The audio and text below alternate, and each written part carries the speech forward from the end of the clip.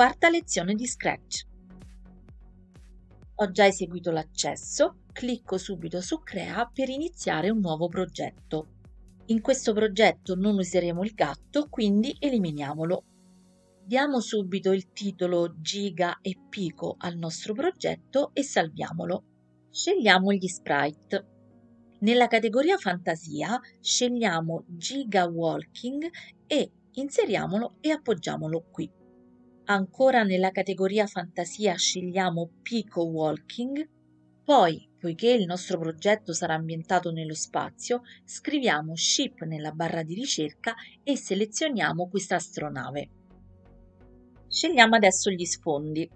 Sempre perché il nostro progetto sarà ambientato nello spazio, scriviamo Space nella barra di ricerca e scegliamo lo sfondo Space. Poi ripetiamo e scegliamo lo sfondo Space City 2. La storia che vogliamo raccontare è quella di Giga, che vive nel pianeta dello sfondo Space, che, viaggiando sulla sua astronave, raggiunge Pico, che vive sul pianeta dello sfondo Space City 2.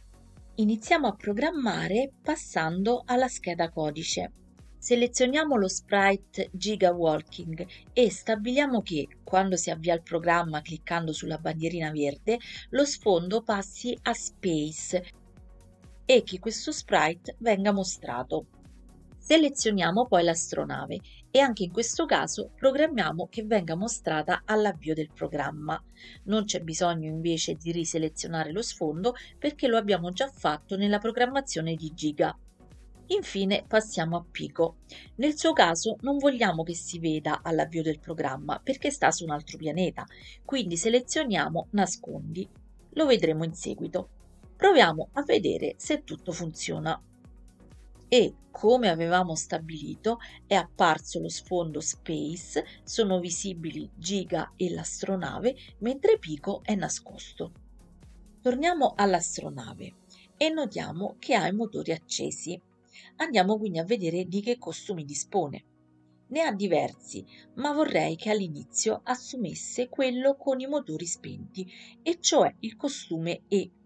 Torniamo quindi a codice e aggiungiamo il blocco passa a costume E. La sua posizione iniziale dovrebbe essere più o meno questa e, poiché deve sembrare lontana, vorrei che la sua dimensione fosse ridotta del 50%. Sistemo un po' il posizionamento e continuo ad aggiungere i blocchi.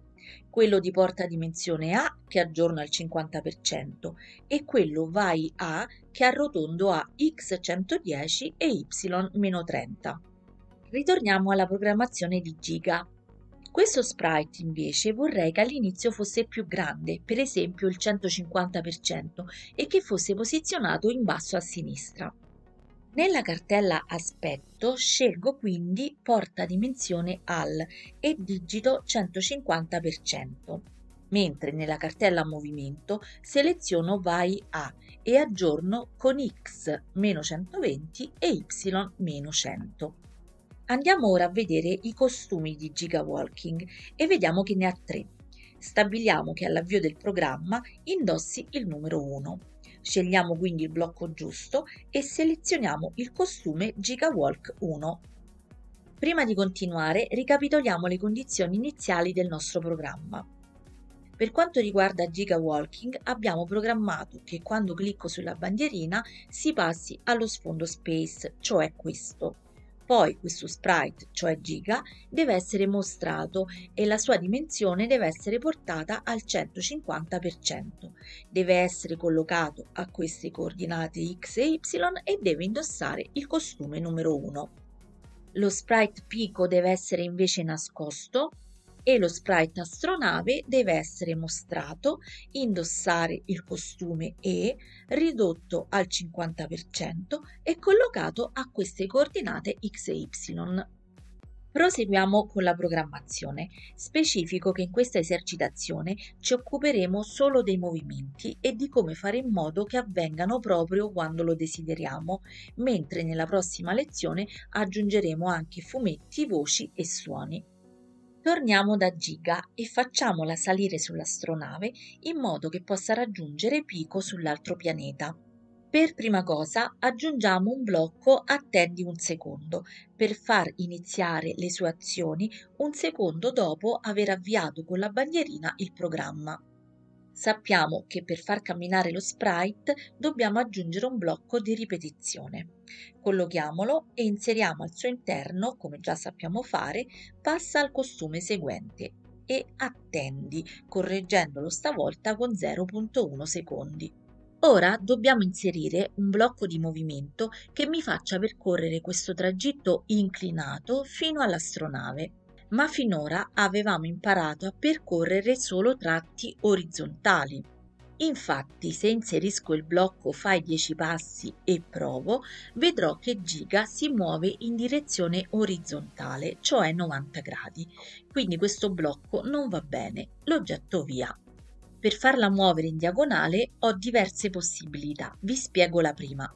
Osserviamo questi due blocchi, cambia x di 10 e cambia y di 10. Essi ci permettono di cambiare una sola coordinata alla volta.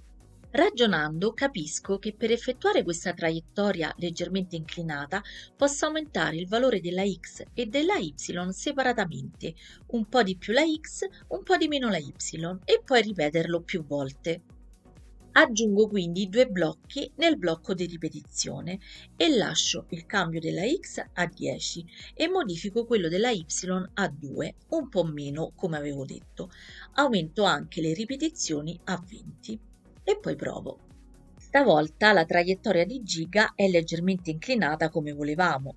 Il problema è che è troppo grande, mentre si allontana dovrebbe rimpicciolirsi possiamo usare il blocco cambia dimensione che se ricordate in un video precedente vi avevo detto di non confondere con porta dimensione A.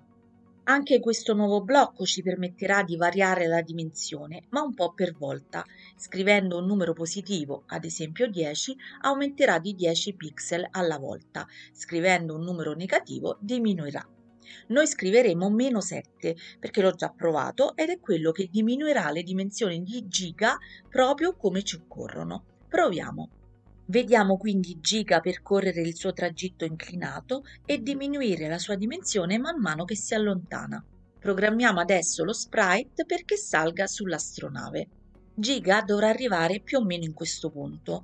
Andiamo a cercare le coordinate giuste nella programmazione dell'astronave e vediamo che esse sono x110 e y-30. Torniamo nella programmazione di Giga. Useremo il blocco scivola in un secondo, correggendolo con le coordinate x110 e y-30. Proviamo. Notiamo che lo sprite ha raggiunto il punto desiderato, ma è fuori dall'astronave. Per far sì che sembri invece essere dentro, dobbiamo portare davanti l'astronave in modo che Giga venga coperta da essa. Torniamo quindi nella programmazione dell'astronave e nella cartella aspetto scegliamo Vai in primo piano, selezionando proprio questa opzione tra le due disponibili. Provando ancora possiamo verificare che stavolta Giga sparisce all'interno dell'astronave. Ed è arrivato il momento del decollo. Ma come faccio a comunicare all'astronave qual è il momento esatto in cui decollare?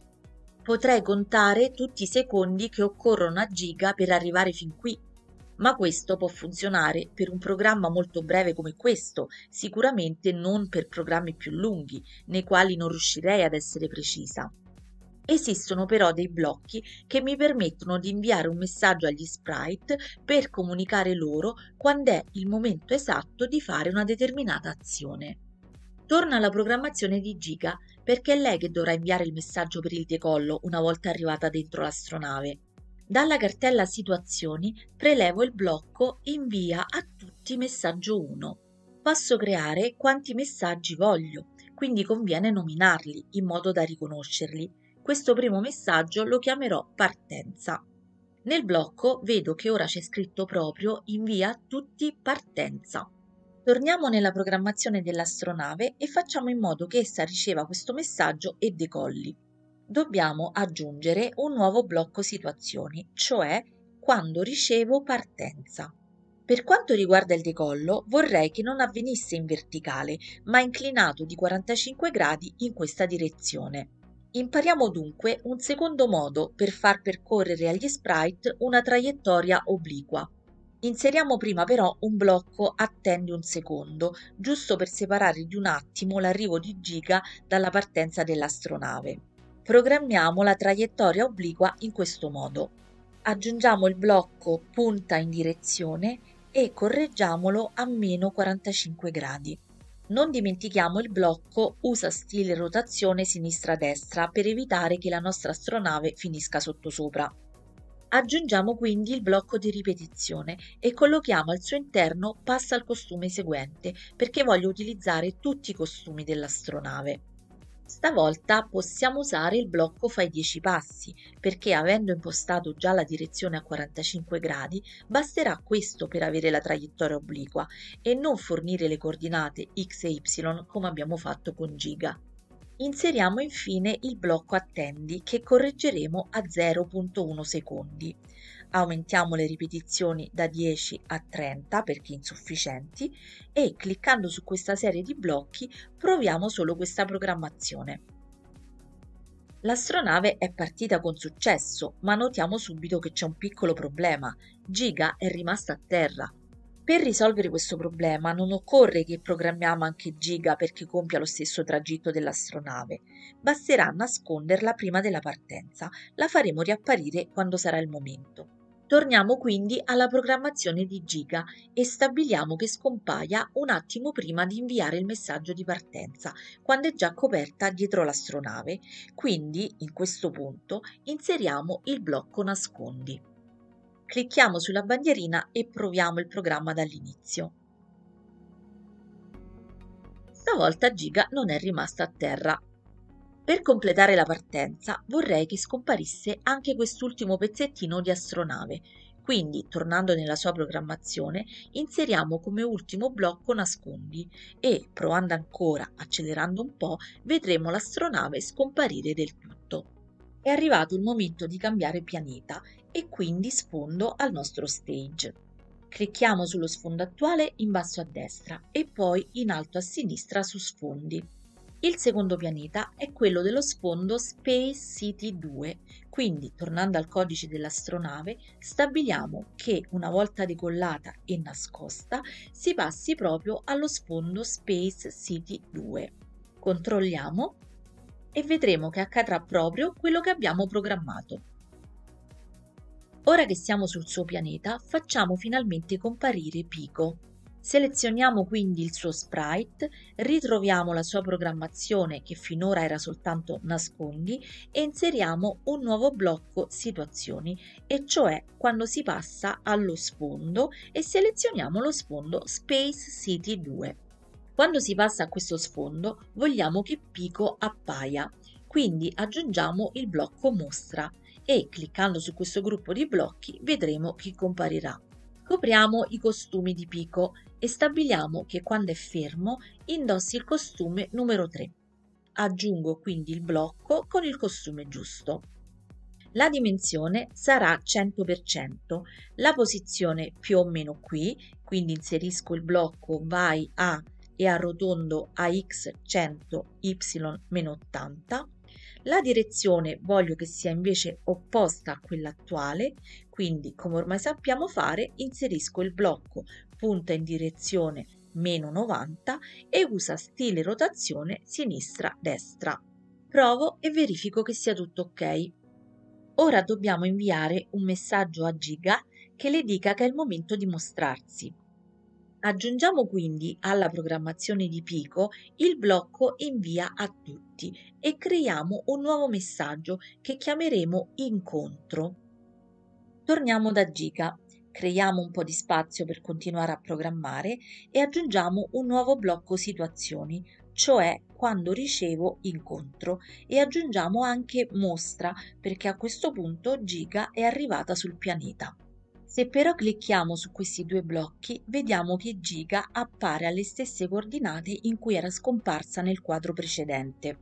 Trasportiamola in questo punto dello stage dove supponiamo che sia atterrata e aggiungiamo il blocco vai a, inserendo le coordinate attuali leggermente arrotondate con x-160 e y-60.